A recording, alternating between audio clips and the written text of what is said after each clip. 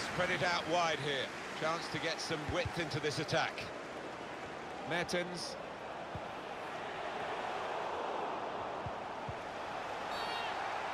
Well, this is certainly going to be within their range now that the free kick has